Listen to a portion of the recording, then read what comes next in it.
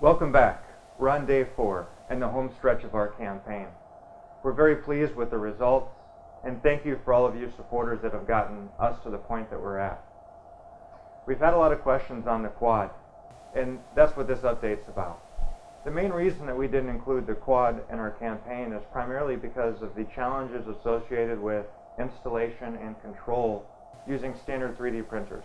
We knew that there would be additional challenges associated with the installation and then just controlling four different extruders because the majority of the control boards that are on the market today simply don't support four extruders.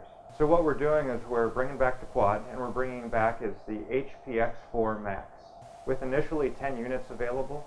And the reason that we're calling it a beta is primarily because of those challenges associated with the installation and adaptability. The technology driving the HPX4 is proven. It's the gamut as part of our HPX2 Max testing. So we're very comfortable with the performance.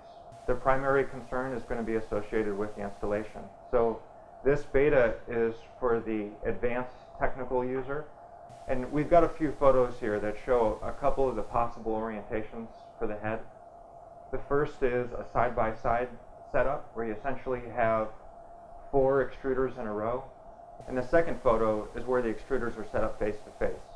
So you essentially have a cube of four extruders. The other key component for the quad is the hot ends. We have developed our own hot ends, which are active cooled and they are more compact than some of the competitive units on the market.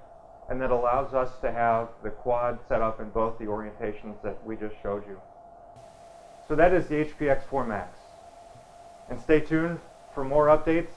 We've got a lot of fun things planned in the last four days. Thanks a bunch and see you soon.